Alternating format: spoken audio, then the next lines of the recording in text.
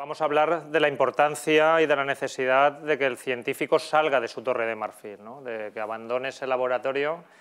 Eh, los que estáis hoy aquí sois un ejemplo de que habéis salido de esa torre de marfil, por tanto, mantener la calma, que todo va a ir bien. ¿eh? y pensar que en esta universidad pues, eh, el tema de la divulgación científica, de la difusión del conocimiento, lo tenemos como bastante asumido y estamos muy comprometidos con ello y tenemos, pues, creo que, bastantes recursos para, para daros apoyo. Eh, muchas de las cosas que voy a contar hoy, pues probablemente eh, en este público o en esta audiencia, pues están ya asumidas, ¿no? esa necesidad de salir de, la Torre de Marfil. Pero es bueno también que, las mm, expongamos hoy eh, en común y que las pongamos hoy en común para que las podáis compartir en ocasiones con vuestros compañeros del grupo de investigación o con vuestros tutores incluso, directores de tesis o jefes de grupo, porque no son todos los que salen de la Torre de Marfil. Es decir, no, no os estoy pidiendo a vosotros que salgáis, que ya sé que habéis salido, sino que animéis a otros a hacerlo. ¿no? Bueno, ¿Y por qué? Pues bueno, yo, eh, llegado a este punto, siempre comento o intento arrancar eh, la exposición con una serie de motivos o de razones que explican por qué es importante que el investigador salga. ¿eh? Y, yo creo que tenemos que apelar en primer lugar a la conciencia del investigador y a que el investigador entienda la necesidad de salir. En ese sentido, bueno, nosotros hemos formulado una ecuación, creíamos que era una manera simpática de, plantear el tema, y esa ecuación es que la I más D más I, que es la, fórmula de la, investigación, el desarrollo y la innovación, en la que todos y todas formáis parte de este sistema, pues parece que es una ecuación incompleta, porque realmente nunca se sabe cuál es el resultado de ese sumando. ¿no? Y nosotros lo que hemos hecho es añadirle una D de divulgación, y añadiéndole esa D encontramos un resultado que para nosotros es la razón por la cual el investigador tiene que salir de su torre de marfil. Eh, y ese resultado es ingresos y prestigio.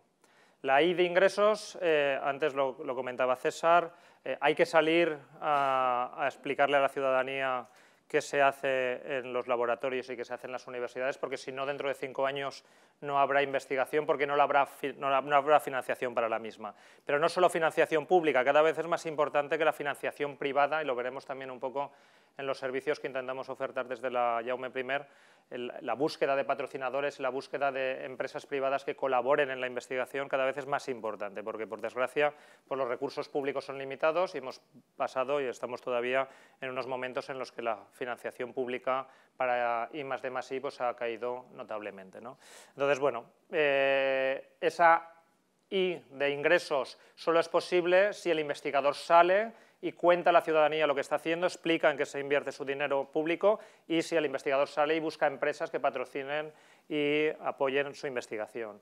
Pero además hay una P de prestigio y el prestigio es importante, entendemos nosotros, para el investigador, no solo para la captación de recursos, es decir, cuando una empresa busca patrocinar a alguien, siempre busca a alguien mediático, a alguien conocido, a alguien público, sino también incluso para el investigador a la hora de establecer sus relaciones de investigación. Al final, cuando uno eh, busca trabajar en red, siempre buscamos al mejor de nuestro ámbito, no buscamos al desconocido, no buscamos aquel que está perdido en una torre de marfil, sino buscamos aquel que tiene notoriedad y, a quien conocemos. Por tanto, es importante que eh, ese prestigio lo trabajemos desde el ámbito de la divulgación. Bueno, y cuando hablamos de ese prestigio, eh, y así lo entendemos desde la universidad, hablamos que es muy importante la sinergia entre grupos de investigación y la universidad. Es decir, eh, el prestigio de un grupo de investigación muchas veces está vinculado a su centro de origen, a las grandes universidades de referencia que parecen como grandes espacios de investigación. Y esto es un poco en lo que estamos intentando trabajar, que la Jaume I se posicione y se entienda como una, universidad que somos dentro del conjunto del sistema universitario español, una universidad de tamaño medio, pero una universidad que quiere excelir o destacar en excelencia quiere destacar en el ámbito de la investigación. Esta es una apuesta del equipo rectoral actual, pero también es una apuesta de los equipos rectorales anteriores, el hacer de esta universidad una universidad que apueste por la investigación. Por tanto, para nosotros es importante que haya grupos de investigación destacados, porque si hay grupos de investigación destacados, eso prestigia a la universidad y al mismo tiempo, si la universidad tiene un prestigio, pues el grupo de investigación que está en esa universidad se beneficia del mismo. Bueno, eh, lo ha comentado antes César y lo ha comentado antes también el vicerrector, la rendición de cuentas, es decir, explicarle a la ciudadanía en qué se invierte su dinero, es un tema cada vez más importante. Es un tema cada vez más importante en una exigencia pública de saber dónde va cada euro y, a qué se destina cada euro. Por tanto, la financiación pública de la investigación tiene que rendir cuentas de a qué se destina eh, esa inversión. Por otra parte, y este es un tema que también ayer comentaba con César, eh, entendemos que dentro de lo que es la evaluación de la actividad investigadora, eh, va a tener cada vez más importancia o mayor peso el tema de la divulgación y el tema de la difusión. Es decir, ahora, por desgracia, la carrera investigadora, la carrera académica, del personal pues, mm, funciona a través de, evaluaciones que tienen en cuenta pues, los tramos de investigación en temas de publicaciones y lo que sería más la comunicación interpares, es decir, la comunicación dentro de la comunidad científica y no tanto la comunicación a la sociedad. Pero es cierto que cada vez más las organizaciones eh, estatales y las organizaciones públicas están empezando a tomar conciencia de la importancia de la divulgación y más pronto o más tarde se van a acabar incorporando estos elementos como parte de los incentivos. Es decir, que a la hora de evaluar la trayectoria investigadora no solo se va a tener en cuenta los papers que publica un investigador, sino también su actividad divulgadora. Por tanto, yo creo que esto también es importante que, que lo exploremos.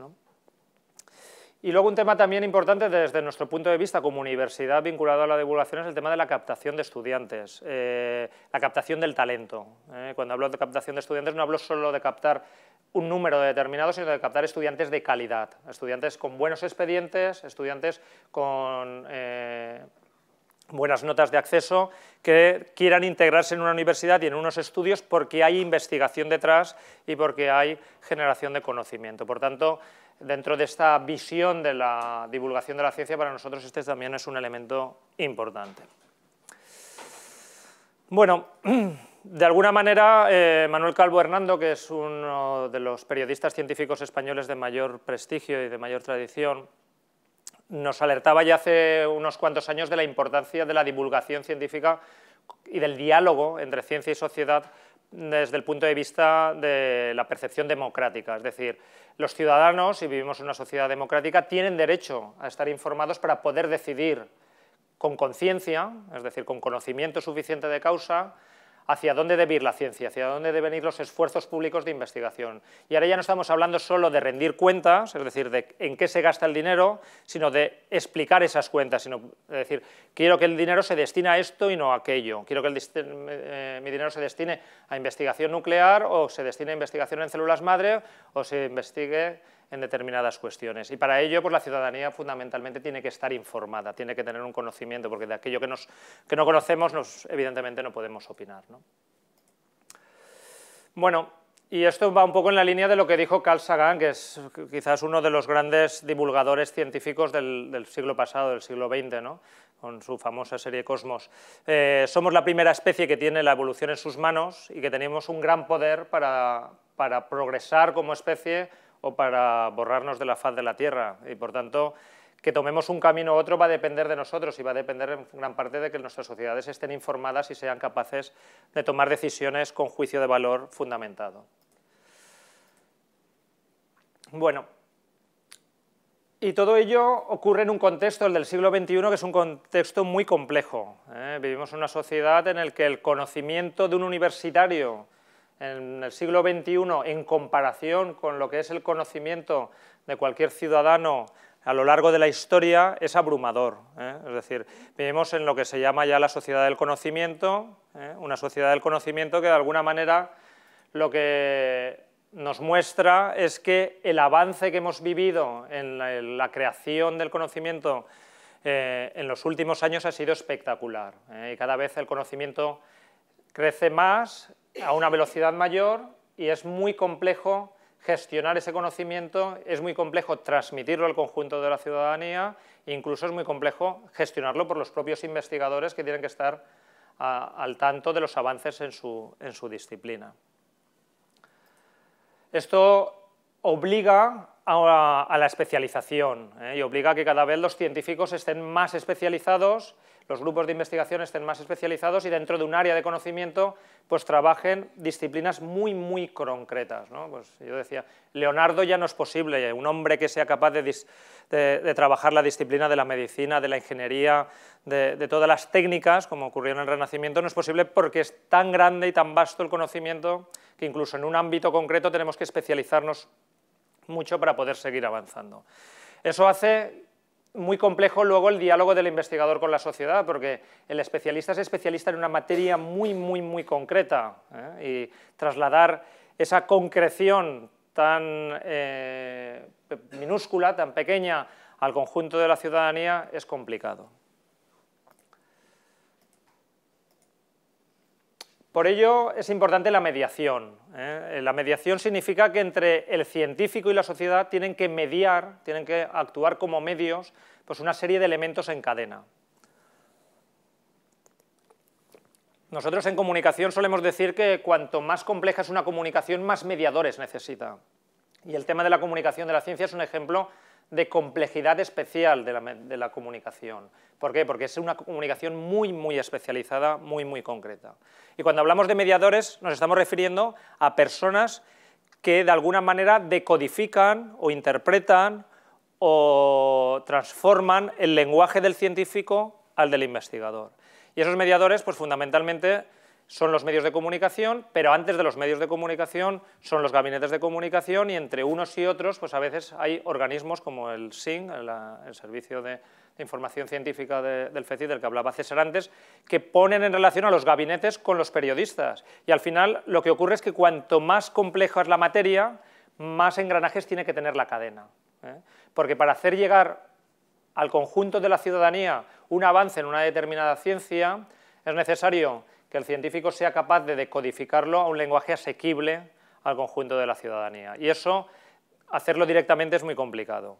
Incluso para los gabinetes de comunicación a veces nos resulta muy complicado hacerlo llegar a los medios. Y como antes decía César, pues eh, que una noticia nuestra la recoja el SINC nos permite llegar al país o al mundo o al periódico de referencia o a la televisión de referencia que en ocasiones no podemos llegar cuando somos una pequeña universidad de provincias, porque al final, aunque seamos una universidad de tamaño medio y situada dentro de lo que es el sistema universitario nacional, eh, de la mitad para arriba de la tabla, seguimos siendo pues, una universidad mm, eh, de provincias y una universidad joven, con muchas dificultades para llegar a, los grandes medios de comunicación. Pues bien, eh, tener un paso de mediación como es SYNC o como son otras agencias de noticias tipo Alfa Galileo otras agencias especializadas en ciencia nos permite situar un elemento más de engranaje en esa cadena de mediación.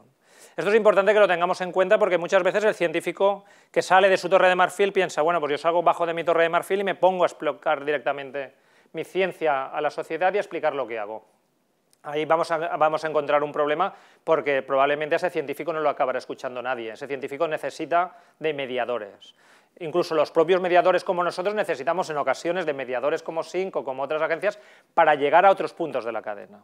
Y eso es importante que, tengamos esta visión de la importancia de la mediación entre científico y sociedad.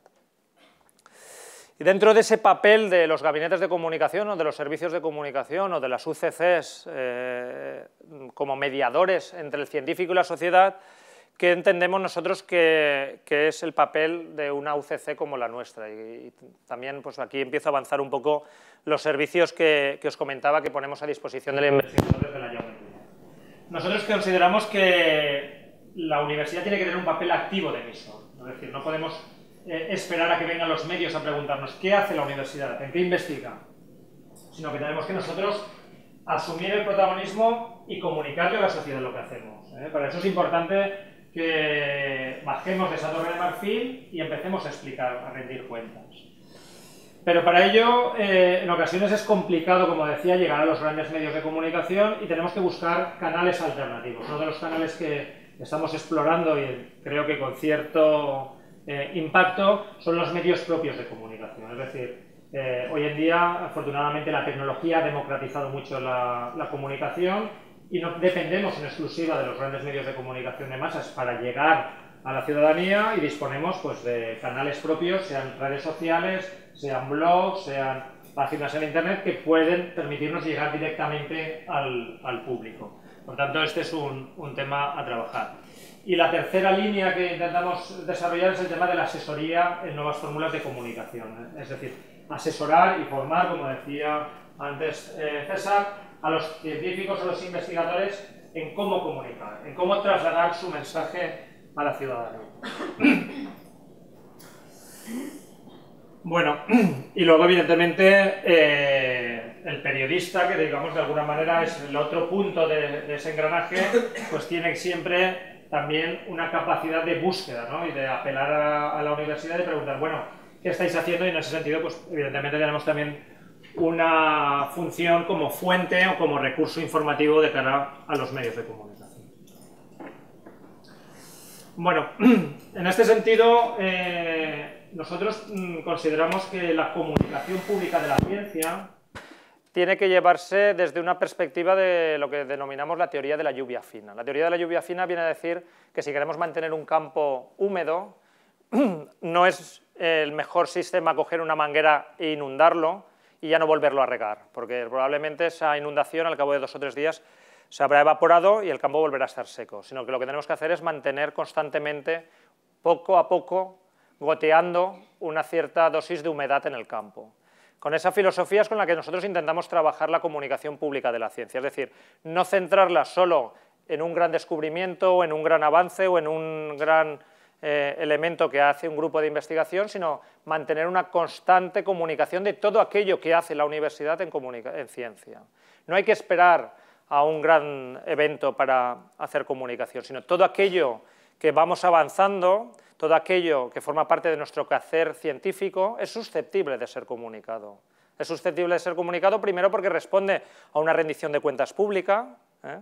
segundo porque explica a la ciudadanía nuestro trabajo y tercero porque va a permitir que de alguna manera mantengamos una constante información del trabajo del, investigador. ¿vale? Por tanto, eh, es importante que tengamos la, percepción de que hay que buscar dentro de nuestra actividad científica información relevante a lo largo del año.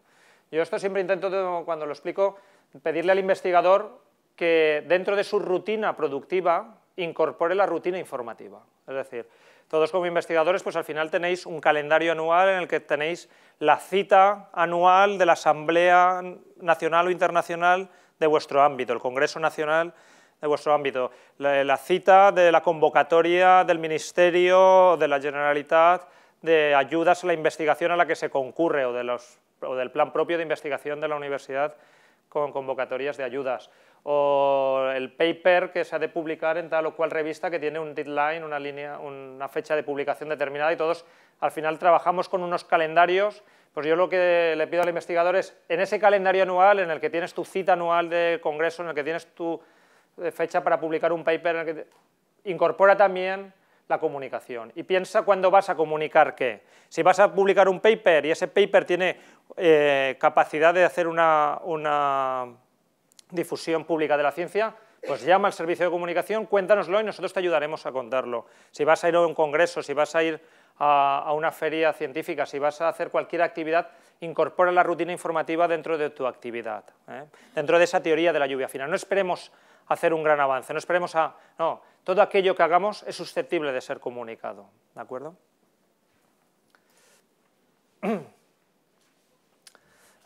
En este sentido también es importante tener una cierta curiosidad mediática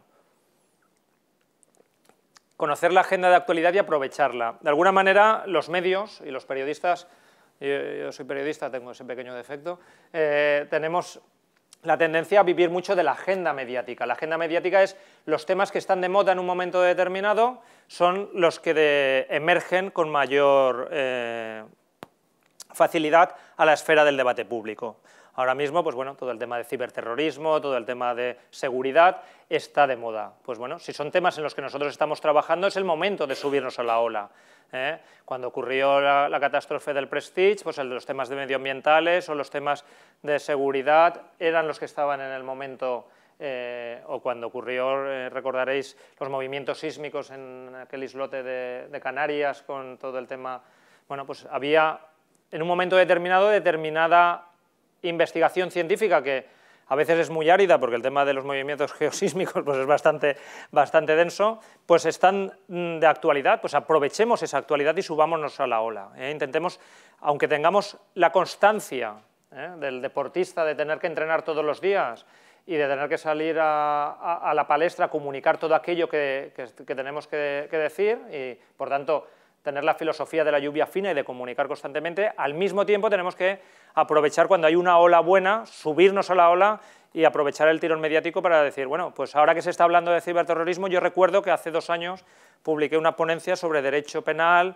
comparativa de los derechos penales en España y Alemania, bueno, cualquier eh, trabajo que a lo mejor podamos aprovechar para eh, eh, coger esa ola de la actualidad informativa. Y todo esto si somos capaces de trabajarlo, si somos capaces de trabajar la constancia, si somos capaces de trabajar la rutina informativa como parte de nuestro trabajo mm, científico, si somos capaces de aprovechar la agenda mediática, al final lo que nos va a permitir es que nos consolidemos como fuente experta. Es decir, que cuando un medio de comunicación quiera información relevante sobre una materia, vaya a apelar a ese científico o a ese grupo de investigación como el referente. ¿Por qué? porque es el que ha estado informándonos permanentemente de cuestiones de derecho penal o de cuestiones de movimientos sísmicos o de cuestiones de tal, y cuando os surge la oportunidad de hablar de esos, temas, la fuente experta es aquella que ha estado constantemente en la palestra pública informando sobre la cuestión. Y eso es lo que nos va a dar el prestigio que eh, comentábamos eh, en la ecuación mágica. Bueno, como, os decía, eh, de alguna manera, mm, en ese proceso de comunicación pública de la ciencia, los medios de comunicación propios que tenemos las universidades a nuestro alcance últimamente, pues son eh, espacios que estamos intentando aprovechar. Y estamos intentando aprovechar porque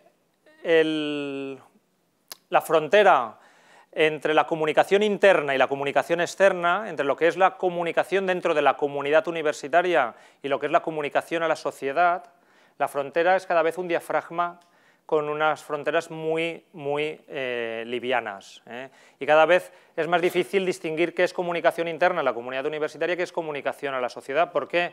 Porque en una sociedad como la, la nuestra, en la Jaume I, en la que tenemos una comunidad de unos 20.000 miembros entre eh, antiguos alumnos, eh, miembros de la sociedad de antiguos alumnos, alumnos y, profesores, pues 20.000 personas a las que somos capaces de comunicar nuestra actividad dentro de un conjunto de una ciudad de 180.000 habitantes o una provincia de unos 400.000 habitantes, que a su vez esas 20.000 personas tienen eh, vínculos familiares y de amistad y que por tanto pueden actuar como elementos de difusión pues la frontera en qué es comunicación interna y qué es comunicación externa es muy difusa. ¿Por qué? Porque por, apelando a ese público interno, pues muchas veces somos capaces de llegar a un público externo que en ocasiones a través de los medios convencionales no podemos. Entonces, pues bueno, ahora os explicaré un poco los medios de comunicación propios que tenemos, tanto para dirigirnos a la comunidad universitaria, que es una población dentro de lo que es el conjunto de nuestra sociedad importante, como para dirigirnos al conjunto de la ciudadanía.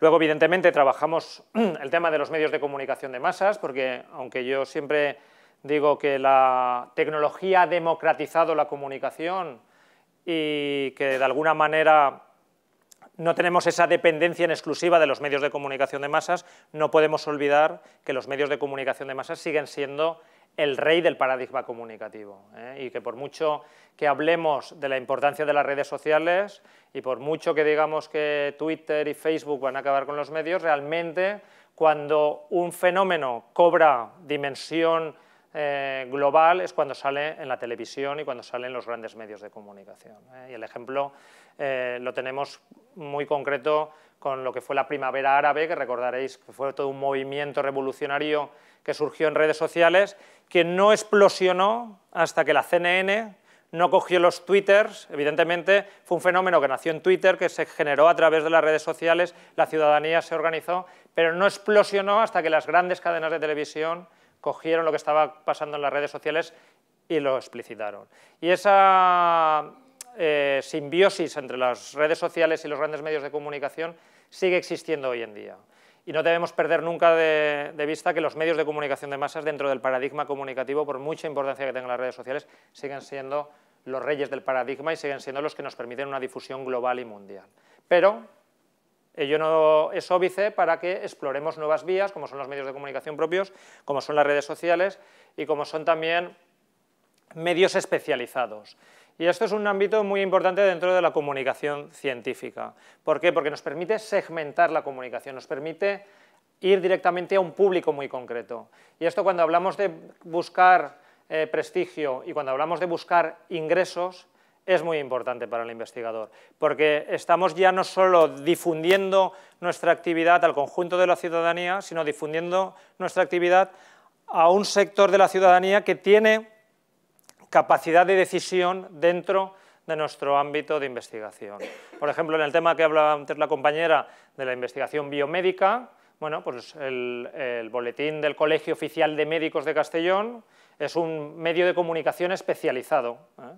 Es un medio de comunicación que no entra dentro de lo que son los circuitos de los grandes medios de comunicación de masas, no entra dentro de los grandes circuitos de redes sociales ni de nuevas tecnologías, pero es un boletín que reciben todos los colegiados del, Colegio Oficial de Médicos de Castellón. Por tanto, es un público segmentado, especializado, al cual, si somos capaces de hacerle llegar nuestra información, va a llegar directamente al corazón de, de las personas a las que queremos impactar. Bueno, y luego, evidentemente, además de los medios de comunicación propios, además de los medios de comunicación de masas, además de los medios de comunicación especializados, pues tenemos soportes alternativos, ¿no? y por eso antes le preguntaba a César por esas eh, buenas prácticas, ¿no? porque siempre hay que buscar cómo, cómo ir, llevar al científico a la, sociedad, ¿no? porque la sociedad muchas veces, por desgracia, no viene a los campus. ¿no? Pues bueno, tenemos las exposiciones, tenemos la Semana de la Ciencia, tenemos Internet y tenemos nuevas fórmulas. ¿eh? El documental fue el gran soporte de divulgación en el siglo XX, probablemente en el siglo XXI sea el videojuego ¿eh? y todo lo que tiene que ver con la gamificación, con la ludificación, con la experiencia lúdica de la ciencia, eh, donde vamos a encontrar un espacio de, divulgación y de, y de acceso a la sociedad. Bueno,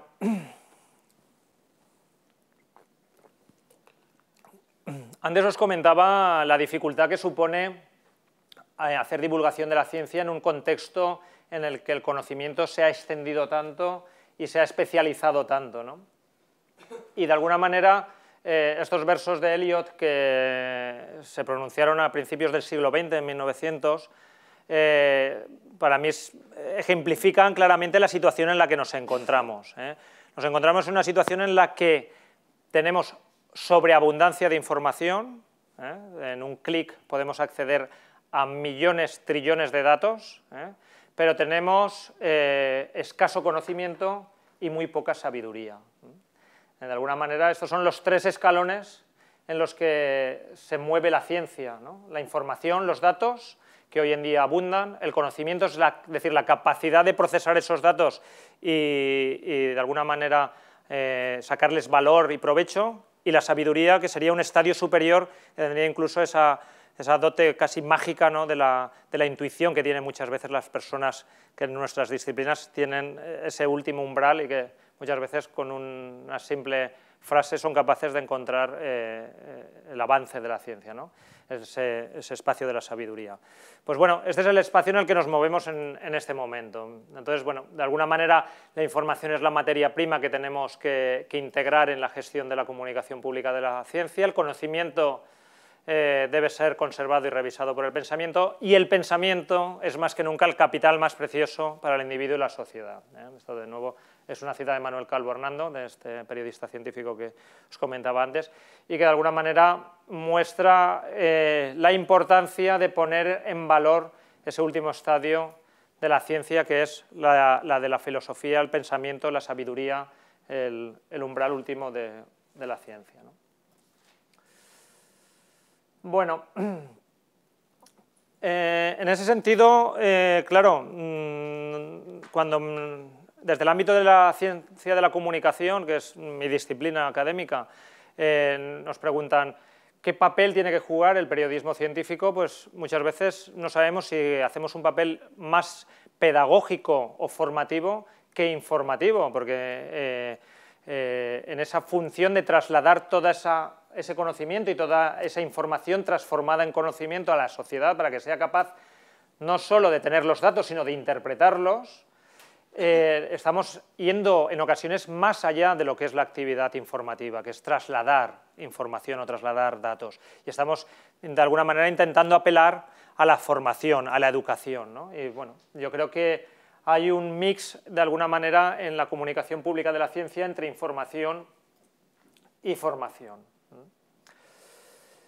Y bueno, dentro de eso también, mm, de alguna manera, hay que intentar desmitificar la ciencia en el sentido de intentar ponerla en cuestión. Al final, el, paradigma científico ha avanzado siempre en la medida en que ha sido cuestionado.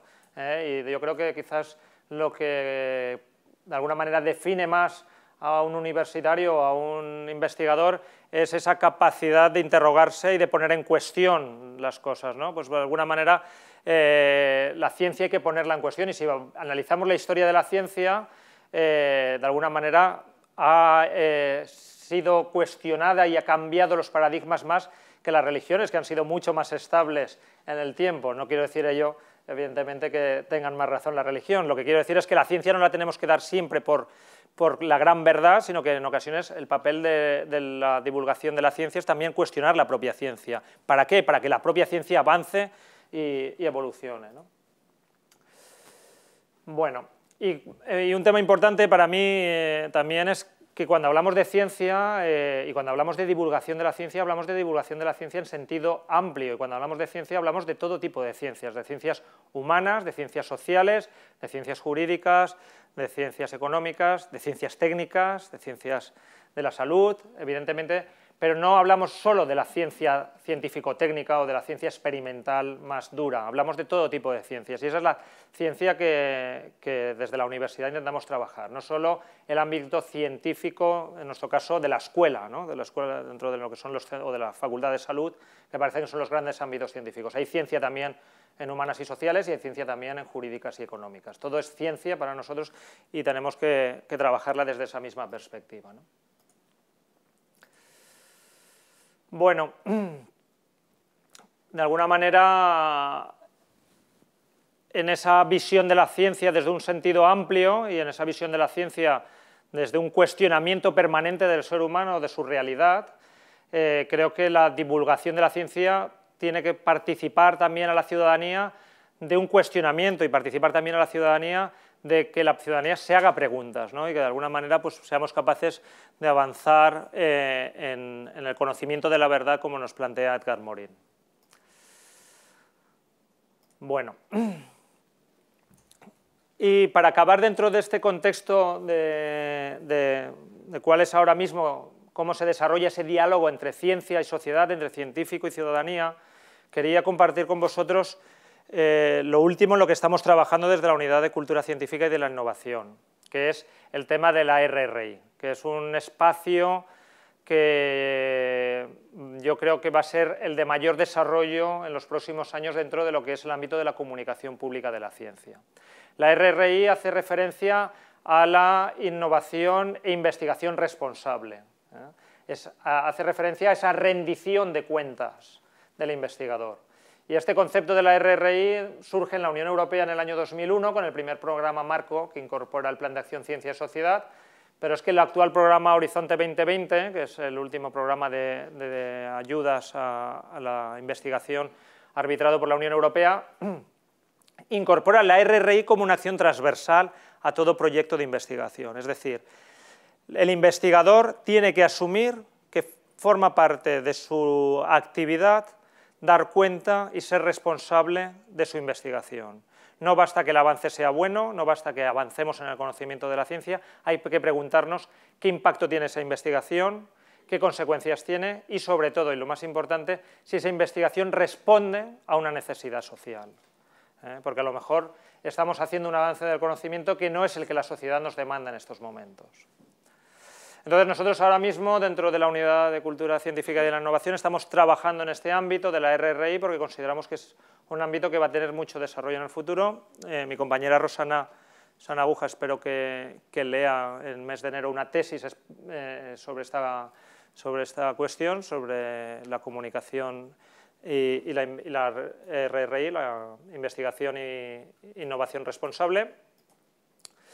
Y bueno, de alguna manera el concepto de, RRI hace referencia a ese diálogo ¿eh? entre la sociedad y el investigador para conocer las expectativas de la sociedad, ¿eh? para conocer un poco qué espera la sociedad del investigador y también para que el investigador dé cuenta a la sociedad de su trabajo. ¿eh? Por tanto, el elemento que alimenta la RRI es la comunicación porque la comunicación es de alguna manera el elemento que va a dar grasa al funcionamiento de esa responsabilidad. Bueno, de alguna manera, dentro del concepto de RRI, del concepto de investigación e innovación responsable, tendríamos tres partes en las que la comunicación es capital. ¿eh? Por un lado, es fundamental que el investigador o el grupo de investigación o la organización investigadora, ya sea una empresa, ya sea una empresa que es una empresa ciudadana, ¿eh? desde ese concepto de, responsabilidad, o una universidad o un grupo de, investigador, de investigación, perdón, lo primero es que ese grupo pregunte a sus grupos de interés, conozca de sus grupos de interés qué esperan de ellos, requiera qué espera la sociedad en el ámbito en el que yo estoy trabajando. ¿Cuáles son las expectativas que se genera la sociedad? La sociedad que me financia, la sociedad que compra mis productos, si soy una empresa, ¿eh? la sociedad que me permite eh, desarrollar mi actividad, en definitiva. Por tanto, hay un, un primer espacio de la comunicación vinculada al conocimiento de las aspiraciones de los grupos de interés. Pero en ese diálogo entre científico y sociedad, muchas veces las aspiraciones de la sociedad no son asumibles, no hay presupuesto, no hay dinero, no hay capacidad técnica para cumplir determinadas expectativas, ¿eh? o, es requisito de la ciencia avanzar antes en otros pasos intermedios para llegar a donde quiere llegar la sociedad. Por tanto, hay que negociar con la sociedad esos requerimientos, porque la sociedad a lo mejor nos está pidiendo determinados avances en nuestra investigación que nosotros no podemos dar en este momento. Por tanto, habrá que dialogar entre científico y sociedad para decirle, bueno, esto es lo que nos pide la sociedad, pero esto es lo que el grupo de investigación en este momento puede ofrecer. Y por tanto habrá que llegar a un consenso. Esto es también un elemento importante que nos pide la RRI y que nos pide Europa dentro de este proceso transversal de la RRI en las convocatorias de, de Horizonte 2020. Por tanto, en ese consenso, finalmente, la organización, sea una empresa, sea un grupo de investigación, sea una universidad, al final ha de asumir unos compromisos, ¿eh? a decir, bueno, esto es lo que me pide la sociedad, esto es lo que soy yo soy capaz de dar, y al final de un diálogo entre expectativas y capacidades, yo adquiero un compromiso para que mi investigación vaya en esta línea y dé estos resultados. Y esto es lo que yo me comprometo como grupo de investigación a realizar de cara a la sociedad. Y por último, la comunicación tiene que dar cuenta del grado de cumplimiento de esos compromisos. Es decir, al cabo de un año, de dos años, del tiempo que establezca el proyecto de investigación, yo tengo que decirle, a esto me había comprometido y esto es lo que he alcanzado. ¿eh? Esto es lo que me pedíais, esto es lo que yo podía hacer, a esto al finalmente me he comprometido porque es el consenso al que hemos llegado entre la capacidad y la expectativa y finalmente este es el resultado, que ha sido satisfactorio o no, o en parte, por las dificultades, por las problemáticas, porque como bien sabéis, pues siempre uno se marca un objetivo y eh, el resultado no siempre es el que uno se ha marcado, pero al menos tenemos que explicar a la sociedad por qué no hemos llegado a ese objetivo o, por, qué eh, dificultades o, problemas hemos tenido durante el tránsito hacia el mismo. Por tanto, el nexo de unión entre las expectativas de los grupos de interés y, de alguna manera, eh, todo el elemento de responsabilidad que tiene el investigador es la comunicación. Y en esa comunicación es importante establecer mecanismos de participación y diálogo, es decir, entender que la comunicación es comunicación y no meramente información. Es decir, hemos vivido en un modelo en el que también el científico daba cuenta, informaba pero no apelaba al diálogo. ¿eh? Y apelar al diálogo es establecer una escucha, ¿eh? es escuchar a los grupos de interés, es escuchar a la industria, es escuchar a la ciudadanía, es escuchar a la administración, es escuchar a todos los grupos de interés del investigador para saber qué esperan de nosotros. ¿eh? Y por tanto, el canal de escucha es en ocasiones tanto o más importante que el canal de, información. Y el canal de escucha implica no solo escuchar, sino implica lo que en términos anglosajones se conoce como el role taking, el ponerse en el lugar del otro, ¿eh? es decir, el adoptar la visión desde el investigador la visión del ciudadano, la visión de la administración, la visión de la, empresa, la visión de la industria. ¿eh? ¿Para qué? Para poder establecer un diálogo en términos eh, equitativos y de igualdad. Bueno, todo esto de alguna manera lo hemos trabajado nosotros desde la perspectiva de la ética. ¿eh? En esta universidad tenemos un catedrático que es Domingo García Marzá, de Ética Empresarial, que ha trabajado toda esta cuestión desde el punto de vista de la RSC, de la responsabilidad social corporativa en el ámbito de la empresa, ¿eh? de la empresa ciudadana.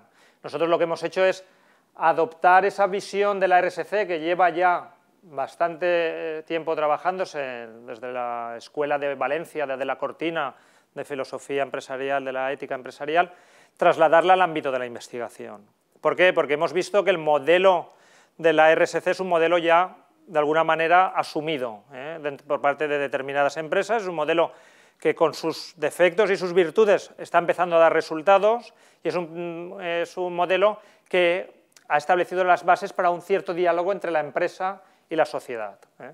Pues nosotros lo que hemos intentado es trasladar ese modelo de diálogo empresa-sociedad al, grupo de investigación sociedad a la organización investigadora sociedad. ¿De acuerdo? Con eso tenéis ahí la cita, no se ve muy bien, del diálogo a la confianza de, Domingo García. Bueno.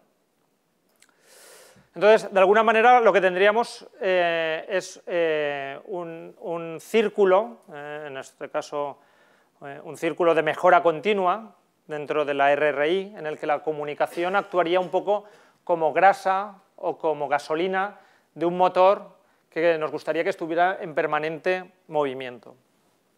Y un motor que de alguna manera arrancaría con un conocimiento de las expectativas de los grupos de interés. Es decir, yo como investigador tengo que saber qué espera de mí la industria, a la que yo luego he de hacer una transferencia de resultados. Yo como investigador tengo que saber qué espera de mí la sociedad, que financia mi investigación con sus impuestos. Tengo que saber qué espera de mí la administración, que es la que en estos momentos está haciendo el reparto de esas ayudas, o qué espera de mí mi propia universidad, ¿eh? o qué esperan de mí los diferentes públicos y grupos de, interés que tenga la, organización. Por tanto, ese es el arranque del proceso, conocer las expectativas. A partir de ese conocimiento de las expectativas tiene que haber, como decía antes, un proceso de negociación y diálogo, un proceso en el que de alguna manera pactemos, porque las expectativas pueden ser muy altas y no se pueden satisfacer. ¿eh? Y al final ya sabéis que la satisfacción siempre es igual a expectativas menos resultados. Si las expectativas son muy altas, por mucho que los resultados lo sean, nunca vamos a poder satisfacer, nunca vamos a poder obtener un resultado adecuado. ¿no? Por tanto, tendremos que llegar a unos compromisos, unos compromisos que en ocasiones pueden ser compromisos por ámbitos y por públicos, es decir, yo como grupo de investigación me comprometo con la ciudadanía a esto, con la industria a esto y con la administración a esto. ¿eh? ¿Por qué? Porque mi compromiso con la ciudadanía es a lo mejor hacer difusión de la ciencia, hacer divulgación, expandir el conocimiento. Mi compromiso con la industria es avanzar en aplicaciones prácticas y mi compromiso con la administración es eh, generar nuevos doctores o generar nueva, eh, mm, mano de obra altamente cualificada. Bueno, podemos establecer diferentes compromisos por ámbitos y por públicos. Pero, y aquí es donde interviene el componente ético, esos compromisos se han de hacer públicos. Eh, Domingo García Marzá, lo llamo Domingo porque llevamos muchos años trabajando juntos y además hay un nexo de amistad después de tanto tiempo. Eh, Domingo siempre dice un principio kantiano que dice todo aquello que no, no se puede publicitar no es moralmente aceptable. ¿eh? Cuando algo se puede publicitar es porque es moralmente aceptable. Y este es el principio de publicidad de Kant. ¿Eh? Bueno, pues este principio de publicidad de Kant es el que inspira ese concepto ético de la responsabilidad del investigador. Ese principio de decir, a lo que yo me he comprometido con los diferentes públicos, lo hago público. ¿eh?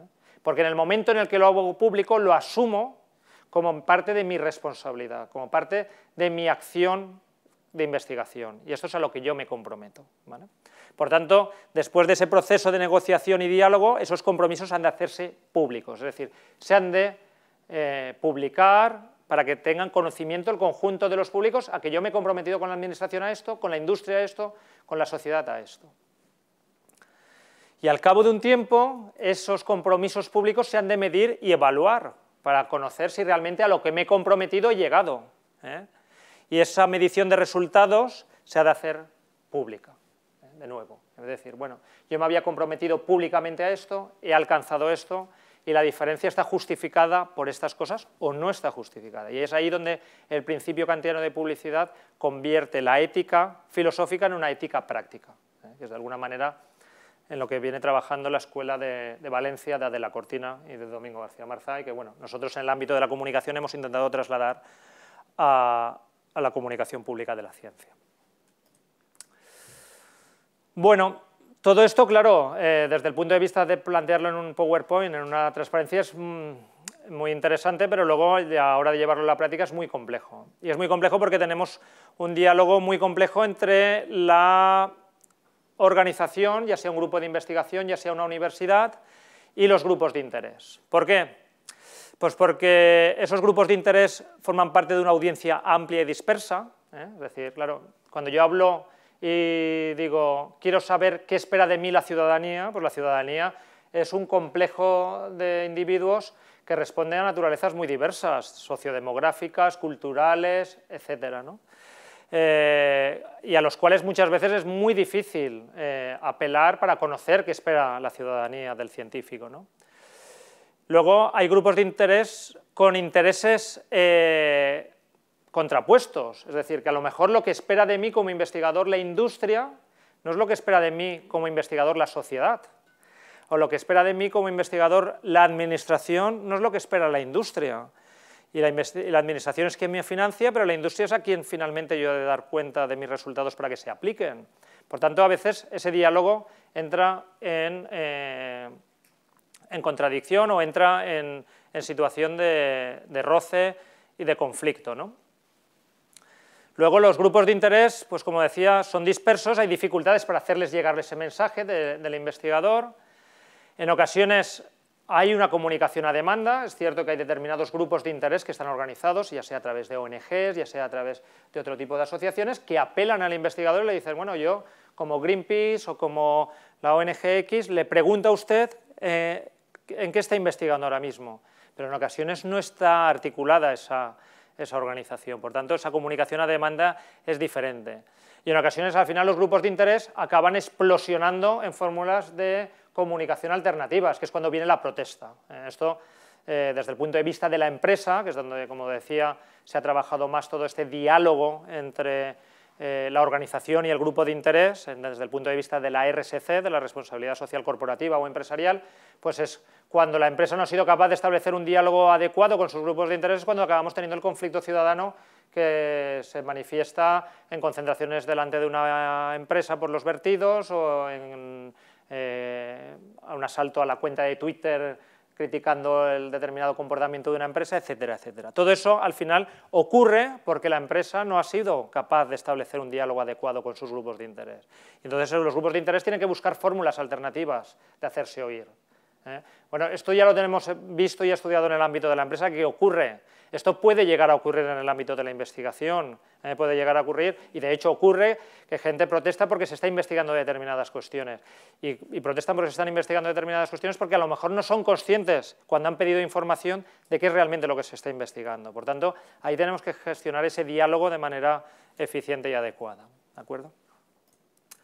Bueno, y para gestionar este diálogo ya eh, voy cerrando un poco la intervención para que luego tengamos tiempo para, el diálogo y para eh, vuestras preguntas. Eh, para gestionar este diálogo entre el grupo de investigación y, la sociedad o, los diferentes grupos de interés que pueda tener el grupo de investigación, La Universidad Jaume I cuenta con un servicio de comunicación y publicaciones, que es el, organigrama que tenéis en la, pantalla, que querría presentaros sucintamente para que conozcáis un poco los recursos de los que disponéis en esta universidad para comunicar ciencia, para divulgar vuestro trabajo y para acceder a esos diferentes grupos de interés. Bueno, eh, somos un servicio de la universidad que dependemos directamente del rectorado. Eh, esto, eh, desde mi punto de vista, es muy positivo porque evidencia el papel importante que le da la máxima autoridad de la universidad a la comunicación, es decir, no hay un vicerrectorado que gestione la comunicación, sino que directamente el rector es quien asume esta, esta función.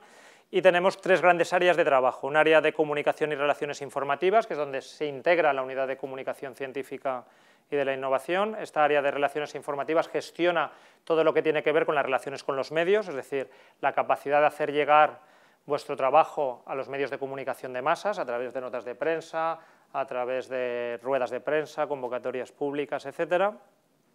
Y es la que gestiona también todos los medios de comunicación propios, la web de la universidad, las redes sociales, eh, los, diferentes canales de redes sociales, el Voxugi, que es el boletín electrónico de difusión, y los diferentes boletines electrónicos que generamos como medios de comunicación propio. Luego tenemos un área de comunicación corporativa y patrocinio que gestiona todo lo que son presencia en ferias y actividades, digamos, eh, de comunicación más directa y que gestiona también el patrocinio, gestiona también la capacidad de buscar eh, fuentes de financiación privada para determinados proyectos. ¿eh? tenemos un programa de cátedras eh, de empresa eh, bastante desarrollado, en el que buscamos empresas que quieran sumar su imagen y su reputación corporativa a la de la universidad para trabajar en un ámbito concreto. ¿eh? En, la página web podéis ver todas las cátedras que, tenemos, que, son bastantes y además en una tendencia creciente. Y luego tenemos un área de comunicación y producción editorial que lleva a cabo todo lo que sería la comunicación más científico-técnica, más especializada en el ámbito de, la publicación editorial, eh, revistas electrónicas, de carácter académico eh, e investigador y, libros. Y esas tres grandes áreas pues, cuentan con, con unas unidades de apoyo con seis unidades de apoyo, eh, una unidad de tecnologías de la información y la comunicación que lleva todo el tema de la web, una unidad de producción audiovisual que son mis compañeros que ahora mismo están grabando estas conferencias y, las diferentes que podéis ver en, el videoblog de ciencia y en la página web y en el repositorio del servidor de vídeo, una unidad de diseño que lleva a cabo todo lo que es el elemento de, diseño gráfico, la comunicación gráfica es eh, muy importante y en el ámbito de la comunicación de la ciencia la comunicación gráfica es muy importante para a veces simplificar en una infografía o en un gráfico determinados conceptos que a veces son muy complejos de transmitir. La unidad de documentación, que da todo apoyo a, la gestión de, la revista de actualidad, revista de prensa, etc. Y la unidad de distribución, que se encarga de mover físicamente todavía pues, libros, eh, merchandising y objetos que en el ámbito digital no todo es eh, ceros y unos, todavía tenemos bastantes objetos físicos que mover. Y luego una unidad de apoyo administrativo que se encarga de toda la cuestión burocrática y administrativa. Bueno, en ese sentido yo quería pues, mm, explicaros brevemente los medios de comunicación propios que tenéis a vuestro alcance para apelar o llegar a esa comunidad universitaria que os decía es de 20.000 personas, pero que a su vez permite expandir a un número muy importante de la ciudadanía de nuestro territorio el trabajo que se lleva a cabo en esta universidad. Tenemos la página web, que es un medio de comunicación de referencia dentro de lo que es eh, la, universidad. Tenemos las listas de correo, eh, tenemos un sistema de listas de correo que nos permite con un único correo enviar un mensaje a toda la comunidad universitaria y al mismo tiempo segmentarlo por diversos criterios, segmentarlo por áreas de especialidad, titulación, eh, facultad, eh, máster, grado, etcétera. Tenemos, eh, yo creo que ahora mismo de memoria no sabría decir, pero cerca de 100 listas de correo que permiten desde enviarlo a toda la comunidad o enviarlo solo a los alumnos del máster por la paz o del máster de comunicación, que es el que yo coordino con otros compañeros. Luego tenemos el Voxugi, que es un boletín quincenal que llega no solo a la comunidad universitaria, sino también a todas aquellas empresas e instituciones con las que la universidad tiene algún convenio o algún tipo de relación. Tenemos una radio que se escucha por, por FM en 107.8, pero también por internet, Bosuji Radio. Tenemos un circuito cerrado de pantallas de televisión en el, en el campus, en las cafeterías, que también reproducen todos los mensajes que damos eh, cuenta en, la web. Tenemos el blog de Ciencia TV, que es eh, uno de los proyectos que pusimos en marcha gracias precisamente a la FECIT, en el que los investigadores tienen a su disposición pues, la capacidad de en vídeos cortos dar a conocer su trabajo eh, de investigación y también en una modalidad que tenemos de vocabulario científico, hacer una actividad formativa de explicar un concepto vinculado con su, con su actividad. Bueno, Lucía que está llevando más directamente el tema, si queréis luego os puede, explicar. Y luego tenemos toda una serie de canales en redes sociales, Facebook, Twitter, eh, eh, LinkedIn, canal de YouTube, etcétera, que nos permiten llegar también a un conjunto muy amplio de seguidores.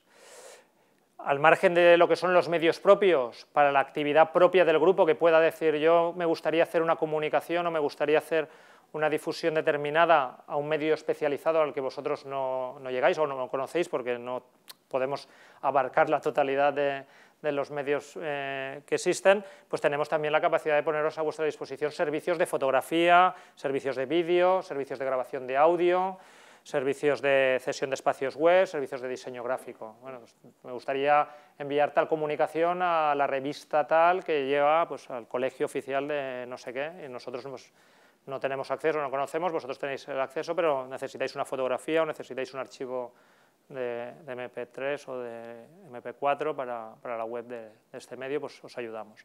Y luego, evidentemente, todo lo que tiene que ver con las relaciones con los medios, desde notas de prensa, ruedas de prensa, entrevistas, artículos de opinión, este es un tema importante. Eh, muchas veces pensamos que mm, solo podemos llegar a los medios a través de lo que es la noticia, ¿eh? pues bueno, eh, los medios tienen espacios de, opinión, aquí en el ámbito nuestro más próximo, tanto Mediterráneo como Levante, que son las cabeceras con mayor número de, seguidores, tienen espacios de, opinión que están abiertos a, que haya eh, columnas o, firmas invitadas de, personas del mundo universitario que opinen sobre determinados temas de actualidad vinculados con su, con su actividad. ¿no? Y luego, evidentemente, todo lo que comentábamos de la prensa especializada. Bueno, luego tenemos toda la línea de la editorial universitaria, que es como una editorial clásica, con toda la cuestión de publicación de libros en papel, en CD, publicación electrónica, revistas electrónicas. Damos también apoyo a la organización de encuentros científicos a través de lo que son la gestión de lo que denominamos espacios singulares, que es la Yocha del CANEM, que es el, el edificio histórico que tenemos en el centro de Castellón y el Paraninfo, eh, damos apoyo también en temas de merchandising, material gráfico, difusión, etcétera. Y luego hacemos también eh, otros servicios de soporte, gestión documental. Este es un tema importante porque, por ejemplo, muchas veces en el tema de la captación de fondos de cara al patrocinador, eh, los grupos de investigación nos dicen, oye, me gustaría tener un dossier de prensa de todo lo que ha salido publicado sobre mi grupo o sobre mi actividad vinculada con la empresa X. Bueno, pues desde el servicio de documentación hacemos eh, ese trabajo que permite luego presentar un dossier al patrocinador y decirle, mira, todos estos son los impactos que ha tenido la actividad que hemos desarrollado contigo. Y bueno, como os decía, todo el tema de captación de patrocinadores. Eh, vivimos en un, contexto socioeconómico complejo, eh, no hace falta abundar en ello, y las empresas pues, tienen dificultad, pero como decía, el tema de las cátedras, pese a haberlo emprendido en este momento de crisis, eh, ha ido creciendo en número de cátedras, porque es una fórmula que aquellas empresas que tienen una cierta dotación económica para, para, investigar, les permite beneficiarse de dos cuestiones muy importantes. Una es el tema de incentivos fiscales, eh, toda la aportación que ellos realizan a las cátedras les desgrava fiscalmente y por tanto tienen un, un, alivio a esa, a esa, inversión y por otro lado por todo lo que tiene que ver con la reputación y el prestigio de la marca ¿no? y cada vez pues, las empresas intentan mm, diferenciarse y de alguna manera vincularse a la universidad es una manera de mejorar su, reputación y su prestigio. Y por tanto, aunque el, contexto, como os decía, es complejo y no hay alegría, por decirlo de alguna manera, en el mundo de la empresa, sí que es verdad que, esta línea de patrocinio pues, ha ido creciendo pese a, la dificultad económica del momento. Bueno, y yo por mi parte creo que con esto habríamos acabado. Uy, perdón. Y os invitaría a que bajarais de esa torre, que animarais a bajar de la torre a vuestros compañeros y, bueno, ahora pues estoy a vuestra disposición para que preguntéis o me interroguéis sobre todo aquello que consideréis.